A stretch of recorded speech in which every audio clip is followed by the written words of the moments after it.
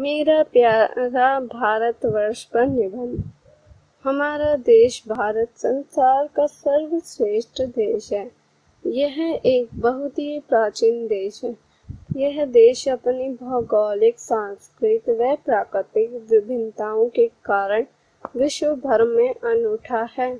पहले इसका नाम आर्यावर्त था। मुगलों ने इसका नाम हिंदुस्तान और अंग्रेज़ों ने इंडिया रखा। यहाँ के निवासी आर्य कहलाते थे। महाप्रतापी राजा दुष्यंत के पुत्र भरत ने इसका नाम भारत पड़ी। इसके उत्तर में हिमालय, दक्षिण में हिंद महासागर, पूर्व में बांग्लादेश तथा बर्मा है। पश्चिम में पाकिस्तान तथा अरब सागर है।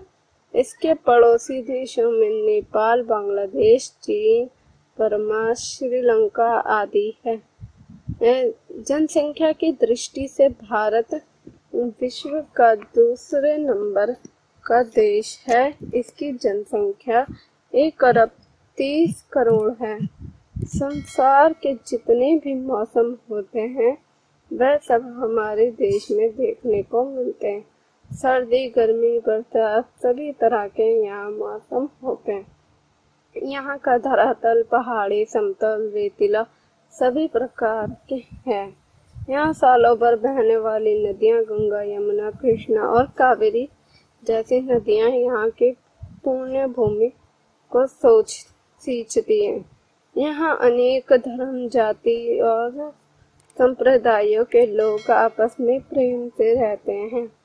यहाँ अनेक भाषाएँ बोली जाती हैं। तथा हर प्रांत अलग अलग त्योहार व उत्सव मनाए जाते हैं। स्वतंत्रता प्राप्ति के बाद इस देश ने शिक्षा, उद्योग, कला कौशल निर्माण कार्य, प्रशासन आदि सभी क्षेत्रों में काफ़ी उन्नति की है। हमारे देश के नागरिकों को जीवन स्तर ऊँचा उठाए। विश्व में बहुत आदर की दृष्टि से देखा जाता है। यहाँ वास्तुकला शिल्पकला, हस्तकला के उत्कृष्ट नमूने दिखने को आदर की दृष्टि से देखा जाता है। मिलते हैं।